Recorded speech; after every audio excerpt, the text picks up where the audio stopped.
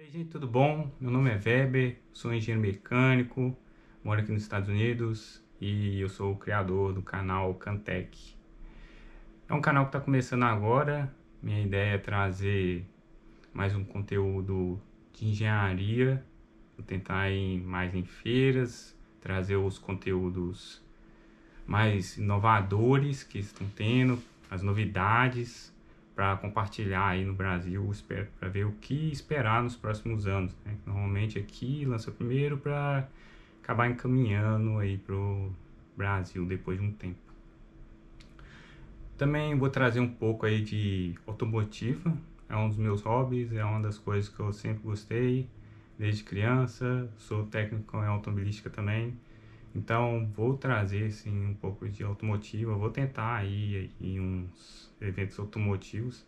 Começou há pouco tempo a ter eventos novamente, né, aqui nos Estados Unidos, por causa do Covid. Inclusive o canal era para ter começado um pouco antes, né, podendo assim dizer, que era para ter começado no ano passado, mas acabou é, não rendendo essa ideia, porque não tinha evento, não tinha o que fazer causa do lockdown que teve aqui.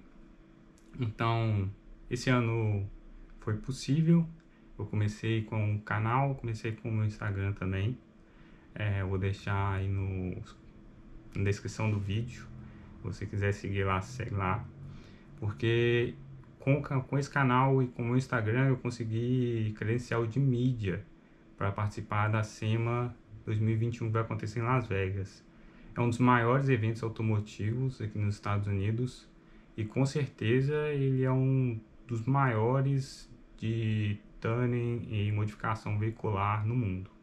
Então, eu consegui essa credencial de mídia, vou estar cobrindo o evento, vai começar dia 2 de novembro, eu vou ir para Las Vegas no dia 1 então no dia 2 eu já devo começar a postar coisa sobre o evento, é quando eu pego minhas credenciais. Vou tentar cobrir a parte de mídia, mostrar como é que é uh, todo o show, como é abordado a mídia, como eles uh, facilitam a vida para nós. Eu recebi alguns e-mails uh, mostrando que quem tem a credencial de mídia vai receber água de graça, vai receber lanches de graça, vai ter uma sala VIP só para poder descansar, trabalhar com computador, etc.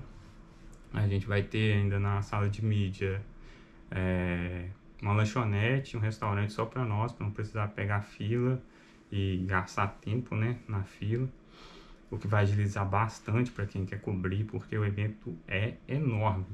Esse mês passado, em setembro, eu fui na Fabtech. Já tem vídeo no canal, eu estou é, editando ainda e fazendo upload foi enorme a feira, a SEMA é para ser maior ainda, com mais é, conteúdo, mais carros, diferentes é, empresas automotivas vão estar lá esse ano. Então, vou gastar muito tempo andando com certeza lá.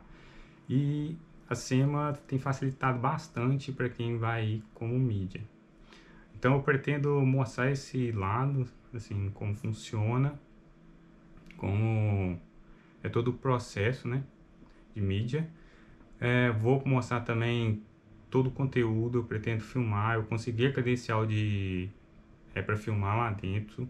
Mesmo se você conseguir a credencial de mídia, não é garantido que você consiga a credencial para fazer vídeo. Você precisa de um, uma credencial especial para isso. Eu conversei com o pessoal da SEMA, eu é, mandei vários e-mails, eles mandaram vários e-mails, é, eu expliquei, eu mandei vários conteúdos para eles do que eu quero fazer, do meu planejamento. E eles acabaram liberando essa credencial para mim. Então eu vou gravar, vou fazer vídeo para o YouTube, vou fazer vídeo para o Instagram. O Instagram provavelmente vai ter live. Provavelmente não, com certeza vai ter live. O YouTube eu vou tentar fazer também live também no YouTube para divulgar o evento e o que está tendo lá. Mas vídeo editado é, não sei se vai ser possível, vai depender muito do Wi-Fi do hotel para fazer o upload dos vídeos. Igual os vídeos da Fabtech tá dando 10 GB. demora um pouco para fazer o upload, então vai demorar, vou ter que ver o quanto que demora para fazer o upload dos vídeos da SEMA que deve, devem ficar muito maiores. Mas tentarei sim fazer o upload durante o evento. Se não der, eu vou fazer live no YouTube e farei live no Instagram. Instagram vai ter stories, vai ter live, vai ter vídeo, vou postar um conteúdo é, mais curto, mas que vai ter uma ideia geral. Para ver depois o vídeo, os vídeos completos, eu vou colocar no YouTube. Quem quiser ver, pode só ir no canal e acompanhar tudo que aconteceu, como foi a rotina e a caminhada, né? Que vai ser longa. A gente que do setor de mídia, a gente já foi contactado pela SEMA. É, a gente, na verdade, está recebendo vários e-mails com os conteúdos é, que eles estão adicionando na feira, né? Os convidados que eles estão conseguindo trazer para a feira. Mas eu acho que aí o mais importante é realmente a lista dos finalistas, dos carros finalistas.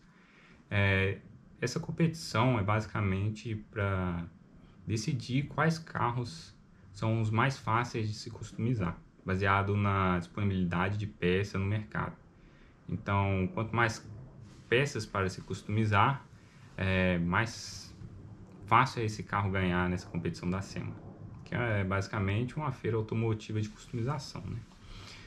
Então, alguns carros são é, veteranos dessa lista. Eles estão aqui todo ano porque eles são uns queridinhos do mercado americano e eles vão estar aqui competindo todo ano, porque é, entra ano e sai ano, as empresas continuam fazendo peças para esses carros, independente do modelo e da versão, porque o eles já sabem que o americano vai consumir.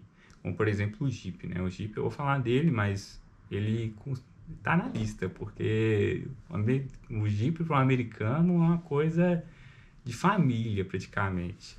Existe uma família Jeep aqui, existe os memes que quem tem Jeep cumprimenta os outros que tem Jeep na, nas ruas, passa, já faz um tchauzinho e realmente o Jeep é um dos queridos do mercado americano. Não tem como ele não estar nessa lista. Mas vou falar depois dele e dos concorrentes dele. Então é isso. Valeu por ter visto o vídeo até aqui. Ah, sobre a cima era só isso.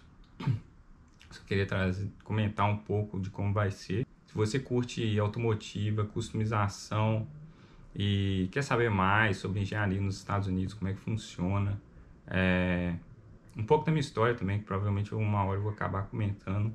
Eu sempre quis falar de como foi meu intercâmbio, as dificuldades que eu tive, né? Muita gente pergunta sobre o meu diploma, como é que eu validei ele nos Estados Unidos, que eu formei na UFMG, trabalho aqui de dinheiro.